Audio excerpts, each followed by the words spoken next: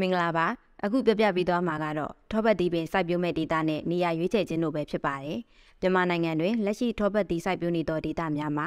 ချင်းတောင်ပြည်ဦးလွင်ရှမ်းပြည်နယ်နဲ့ကချင်ပြည်နယ်တို့ဖြစ်ပါတယ်ထောပတ်တီပန်းပွင့်ခြင်းသည်နေတာအတူရှိထက်အေးတက်မှာအဓိကဖြစ်သည်ပန်းပူးများဖြစ်ပေါ်ရန်အေးတက်သည်အဓိကဖြစ်ပြီးနေတာအတူရှိသည်ပတ်ပွင့်စောခြင်းနောက်ကျခြင်းတို့ကိုသာအပေးပါတယ်။ရေမြေရာသီဥတုအနေဖြင့်ထောပတ်တီကိုမြန်မာနိုင်ငံတွင်စိုက်ပျိုးမိဆိုပါကပင်လယ်ရေမျက်နှာပြင်မှအမြင့်1000မှ2000မီတာကျော်မြင့်သောတောင်ပေါ်ဒေသများဖြစ်တတ်ပါတယ်။ပြင်းပြအပူချိန်မှာ10ဒီဂရီဆယ်စီယပ်နှင့်36ဒီဂရီဆယ်စီယပ်တွင်ရှိပြီးတစ်နှစ်တာမိုးရွာသွန်းမှုမှာမေလမှစက်တင်ဘာလ9လအတွင်းပြင်းပြ1200မှ1500မီလီမီတာရှိရပါတယ်။မြေမျိုးစားအနေဖြင့်ထောပတ်တီပင်အတွက်အသင့်တော်ဆုံးမြေမျိုးစားမှာရွှွန့်စီ30ရာခိုင်နှုန်း၊နှုံးမြေ30ရာခိုင်နှုန်းနဲ့တဘာဝမြေဆွေးများစွာပါဝင်သောမြေမျိုးဖြစ်ပါတယ်။ထောပတ်တီစိုက်ပျိုးရမြေသည်တောင်ပေါ်ဒေသဖြစ်၍စင်ကြေလျှောဖြစ်ပါကမြေတိုက်စားမှုတတစီရန်ကိုတိုလိုက်ဆိုင်ပြီးတင့်တော်သောအကွာဝေးတွင်ကန့်လန့်ဖြတ်ရင်းနှုတ်များများပြုလုပ်ပေးထားရပါမယ်။အပူပိုင်းမူးများသောဒေသများတွင်စိုက်ပျိုးမြေဆိုပါကရေတိုက်စားမှုနှင့်၆တွေ့သောကာလများတွင်အဆိုတက်ထိမ့်သိမ့်နိုင်ရေးတို့ကိုဂရုစိုက်ရန်အရေးကြီးပါတယ်။ထောပတ်တီပင်များဟာ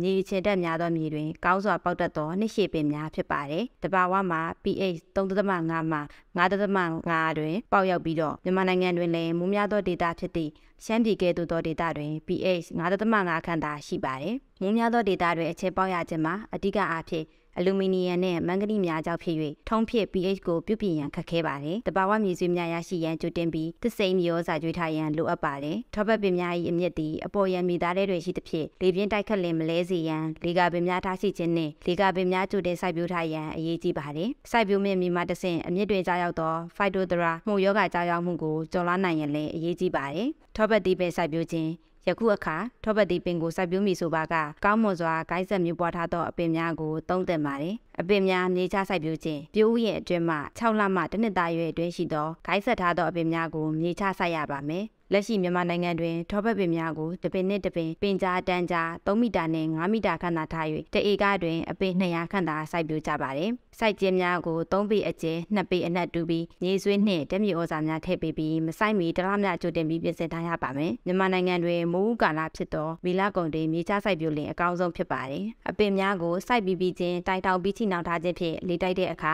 ဆက်ထားသောနေရာမှကျူးပဲ့ခြင်းမဖြစ်စေတော့ပါ။အပင်များစိုက်သောအခါအဓိကမျိုးကိုနှစ်တန်းစိုက်ပြီး၎င်းနှင့်ပန်းမွေချိန်တူသောတခြားမျိုးတစ်မျိုးကိုဝတ်မုံကူးနိုင်ရန်အတွက်တရန်ဆိုင်ပါဥပမာ hash မျိုး A တိုက်ကို purity မျိုး B တိုက်နှင့်ဝတ်မုံကူးရန်ကြားညက်တရန်ဆိုင်ခြင်းဖြင့်အရွေသေးကောင်းမွန်သောထောပတ်သိန်းနှမျိုးလုံးကိုရရှိနိုင်မှာဖြစ်ပါတယ်သို့သောအတီးများစုခုသောအခါတိတန့်ခွဲခြားပြီးစုခုရန်လိုအပ်မည်ဖြစ်ပါတယ်အပင်များပြုစုခြင်းခိုင်းဖြတ်ခြင်း ထောပတ်ပင်သည်အလွန်ကြီးမြန်ပြီးတစ်နှစ်တွင်တမီတာမျှပင်မြင့်တက်နိုင်ပါတယ်။အချို့စိုက်ပျိုးသူများသည်ပန်းမပွင့်မီနှစ်လခန့်တွင်အထက်သို့တက်သောအကိုင်းများအပြင်အတွင်းပတ်လှည့်သောအကိုင်းများနှင့်ဘေးသို့တိတ်ထွက်လာသောအကိုင်းများကိုပါဖျက်ကြပါတယ်။ထိုကဲ့သို့ဖျက်ပေးခြင်းသည်အပင်သည်နေရောင်များစွာရသဖြင့်အသီးပုံမူသည်သည်ရေသွင်းခြင်း ထောပတ်ပင်သည်တီကင်းဝင်ချိန်နှင့်အတီးကြီးထွားချိန်တွင်ရေလိုအဆုံးအချိန်ဖြစ်သည်တီကင်းဝင်ချိန်သည်၆တွေ့သောရာသီဖြစ်၍ရေရရှိနိုင်လင်တစ်ပတ်တစ်ချိန်သွင်းပေးရပါမယ်အတီးကြီးထွားချိန်သည်မိုးရာသီဖြစ်၍ရေသွင်းရန်မလိုအပ်ပါအပင်များရဲ့အဆူတက်ထိန်းနိုင်ရန်ကောက်ရိုးမြက်ချောက်စသည်တို့ဖြင့်ဖောင်းအုပ်ပေးပါ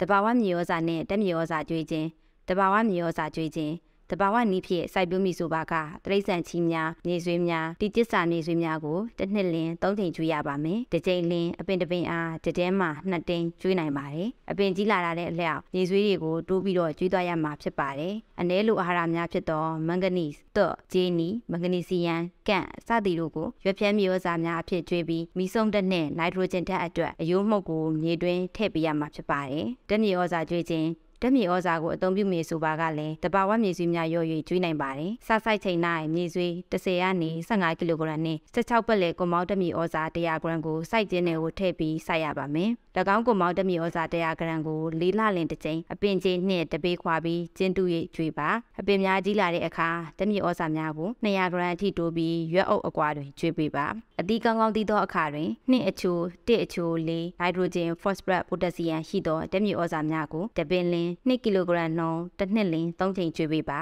ယောဂပူးမွားကာကွယ်နည်းကြားရောက်တတ်သောပူးမွားများနှင့်ကာကွယ်နိုင်နှင့်နည်းအများဆုံးကြားရောက်လိရှိသောပုံမှန်များမှာလေပိုချရင်ဖြူတို့မှာအဆိုးဆုံးဖြစ်သည်ပြပိုးစီးနှဲနှင့်တက်ပိုးတို့မှာတဘာဝမိတ်ဖက်ပိုးများဖြင့်ကာကွယ်ထားသဖြင့်စူးဝါစွာမကြရောက်တတ်ပါလေပိုးကိုကန့်ပါသောဆေးဖြစ်သောအင်ဒိုဇာဖန်နှင့်ဆာဖီနက်ဆေးစသည်တို့ဖြင့်ကာကွယ်နိုင်နေနိုင်ပါတယ်မုံများစာရသွင်းချိန်တွင်လည်း၎င်းလှိပူမှုတွေဟာခြေနဲ့အတူပါသွားနိုင်ပါတယ် ချကိုကာကွယ်ရန်မှာကိုဖီဒေါ200ဂရမ်ကိုရေတလီတာတွင်ဖြောပြီးအပင်ချေနှင့်မြေကြီးကိုဖြန်းပေးရပါမယ်။ကလိုရိန်600ဂရမ်ကိုရေ100လီတာနဲ့ဖြောပြီးအပင်တစ်ပင်လင်1လီတာနှုန်းဖြန်းပေးပါ။ရင်ဖြူကိုထိသေးစားတဲ့ဥသက်စီများဖြင့်အရွက်အောက်ကိုဖြန်းပေးခြင်းဖြင့်ကာကွယ်နိုင်နေနိုင်ပါတယ်။အခုဆက်လက်ပြီးထောပတ်တီများရင်မဲ့ပေါ်ခုဆွတ်ခြင်းနှင့် ရိတ်သိမ်းချိန်လုံးကိုင်တွယ်နည်းများအကြောင်းကိုပြပြပေးသွားမှာပဲဖြစ်ပါတယ်။ပန်းပွင့်ခြင်းနဲ့ရင်းမဲ့ခြင်းတီးပွင့်ချိန်စောတဲ့ဒေသများတွင်ဒီဇင်ဘာလ၌ပန်းပွင့်ပြီးနောက်ကျမှပွင့်သောဒေသများ၌မလခန့်တွင်ပန်းပွင့်ပြီးအတိများတီးပါတယ်။ထောပတ်တီပန်းကိုင်တွေဟာအများအပြား2လမှ3လကြာအောင်ပန်းများပွင့်တဲ့အခါ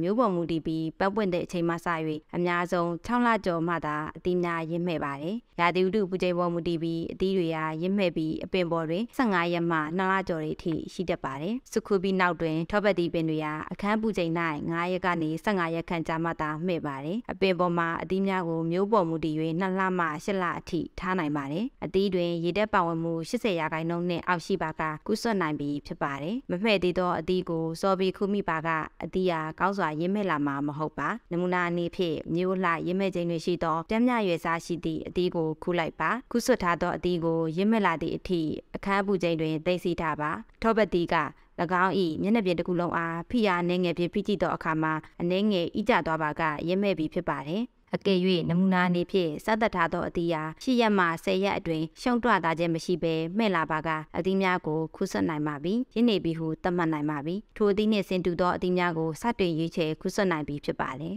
ထောပတ်သီးများကိုရိတ်သိမ်းထုတ်ဖို့ရမှာအမြဲတစေဂယုတဆိုင်ကင်တွေရန်လိုအပ်ပါတယ်စနစ်တကျမကင်တွေပါကအသီးများကိုဖိမိသဖြင့်အတွင်းကြည်လွယ်ပြီးပွန်းပဲ့ကထိခိုက်လွယ်သောကြောင့်အသီးခုစဉ်အောက်ပါတို့ကိုလိုက်နာဆောင်ရွက်ရပါမယ်လုပ်သားတွေကအသီးခုဆက်ရာတွင်၎င်းတို့၏လက်သေးများဖြင့်ထောပတ်သီးကိုမချစ်မိစေရန်အတွက်ခြိသားလက်အိတ်ဝှ၍ခူးဆွတ်တတ်ပါတယ်။အသီးခူရမှာအသီးညာကိုဓာတ်သို့မဟုတ်ကကြီးဖြင့်ညှက်ခူရပါမယ်။လက်ဖြစ်သားဆွဲကူခြင်းမလုပ်ရပါ။အသီးတွင်အသီးညာတန်းကို10မှ15မီလီမီတာလက်မဝက်ခန့်ခြံထားပေး၍ခူးပေးရပါမယ်။တက်ရှင်းလက်ဆက်သောအသီးများကိုခြိသားသို့မဟုတ်ဝစ်စဖြင့်ပြုလုပ်ထားသောအိတ်တွင်ထည့်၍တည်ယူတတ်ပါတယ်။တစ်ချိန်လင်ထိုအသီးခူအိတ်ထဲ၌အသီး10လုံးမှ15လုံးထပ်ပို့၍မတည်သင့်ပါ။အမြင့်ပိုင်းတွင်ရှိနေသောအသီးများကို၃ကြောင်းထောက်လီကဖြင့်တက်ခူးနိုင်ပါတယ်။လက်လန်းမမီသောအသီးတွေကိုအသီးခုတံကရိယာတွေနဲ့ခုဆွတ်နိုင်ပါတယ်။တင့်တော်သောကရိယာများအသုံးပြုခြင်းသည်အသီးတွေဖြစ်ပေါ်လာနိုင်သောလူလားအသီးထိခိုက်မှုများကိုကာကွယ်ပေးနိုင်ပါတယ်။ထို့အပြင်လှုပ်အားကုန်ကြမှုတတ၍လှုပ်သားများ၏အနေရလည်းပုံမှုကင်းရှင်းမှာဖြစ်ပါတယ်။